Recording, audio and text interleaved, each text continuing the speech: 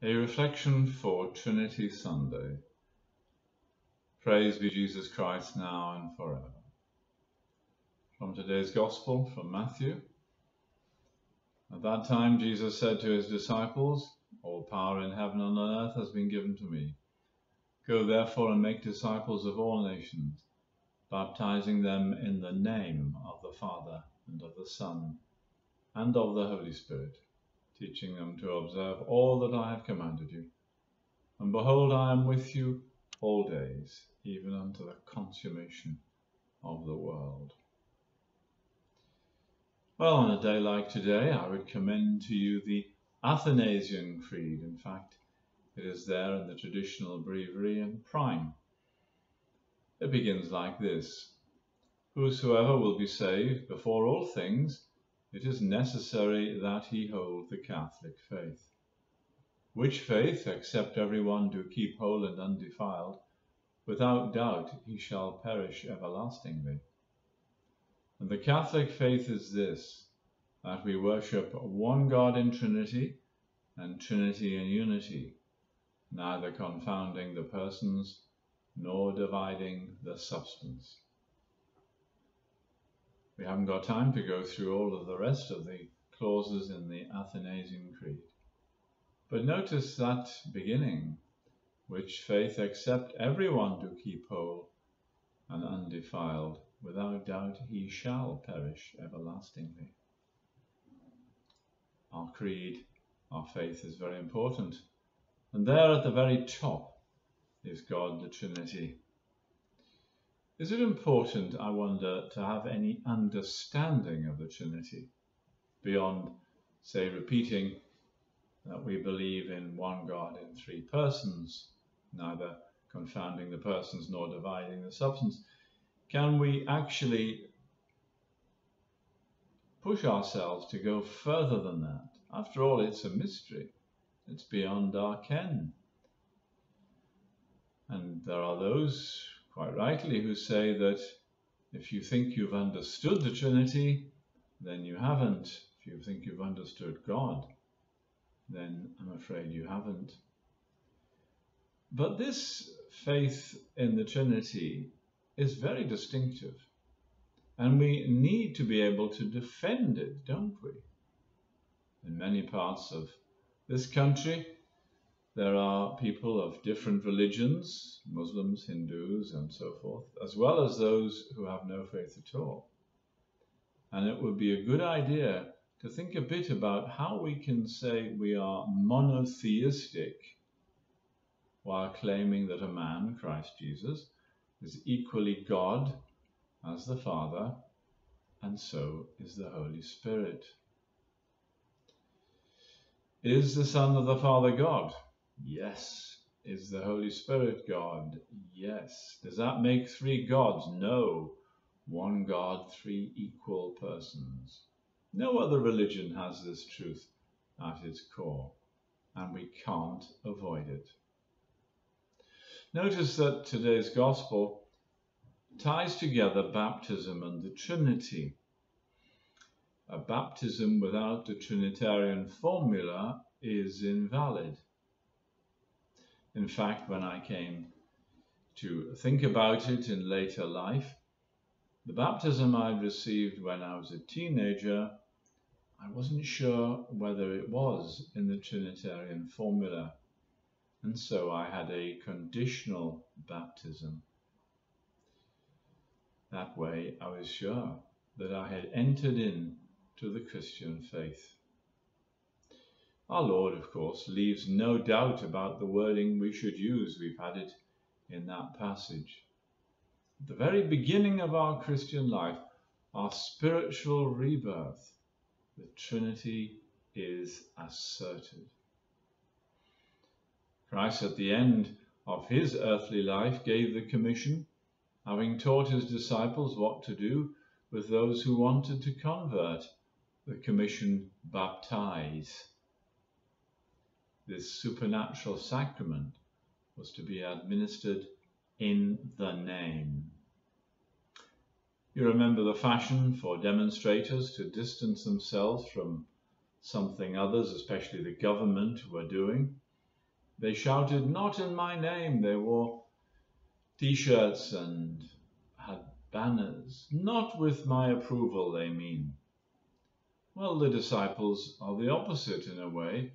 They're going out in the name, not the name of some difficult government policy or other. No, they were going in out in the name of God, committing themselves in the name with the approval of God. The name of whom? Ah, not one name, but three. How do the three persons of the Trinity act?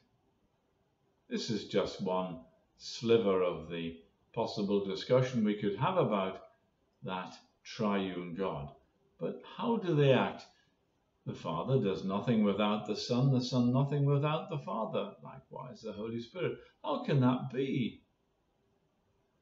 Well, let's take the most important action for us, which they can do and have done namely salvation.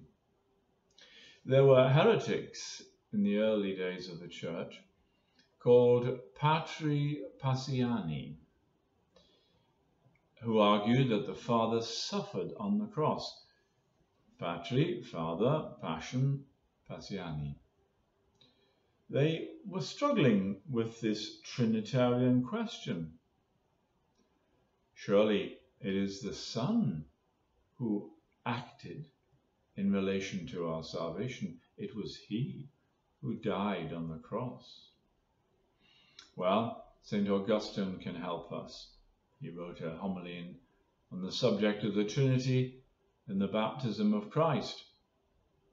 And the word that he uses, at least in translation, which is very handy, is to say that Christ wrought or fashioned or made our salvation. Think of wrought iron.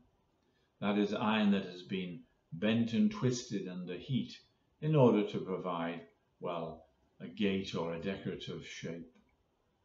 It's been made. We read in Philippians, He emptied himself, taking the form of a servant, being made in the likeness of men, and in habit found as a man. He humbled himself being becoming obedient unto death, even to the death of the cross.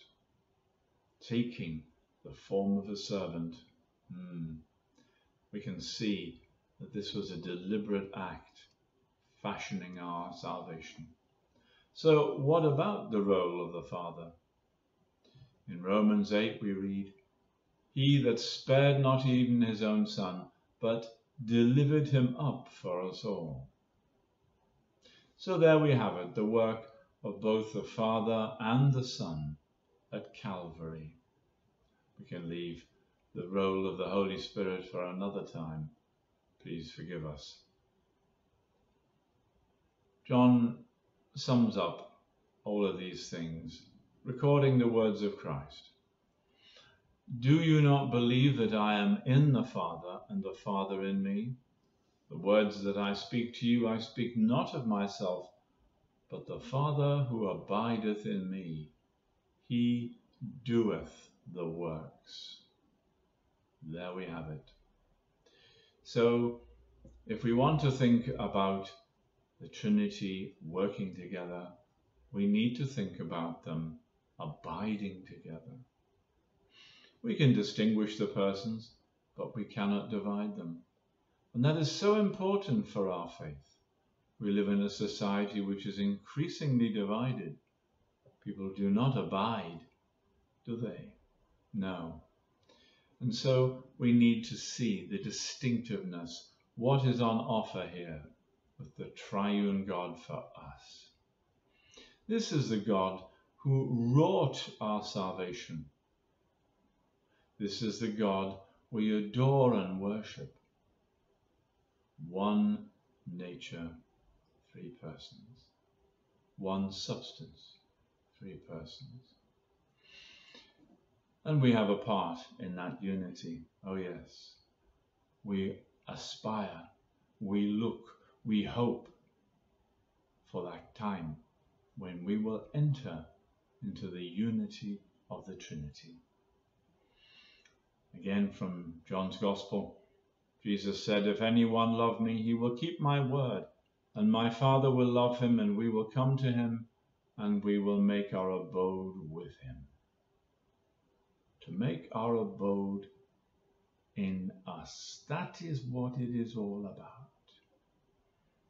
Of course, that is why we must seek holiness, keep His word, love His word, get to confession regularly. We want the Trinity to dwell in us. How intimate, and yet at the same time, God is ineffable, beyond, infinitely above us. The Trinity, you know, isn't a clever idea. No, in us. It's He whom we receive in the Eucharist, in the encounter with the triune God in the Mass, for our salvation. And so, yes, we are people of the name, the name of the Father and the Son and the Holy Spirit. Praise be Jesus Christ, now and forever.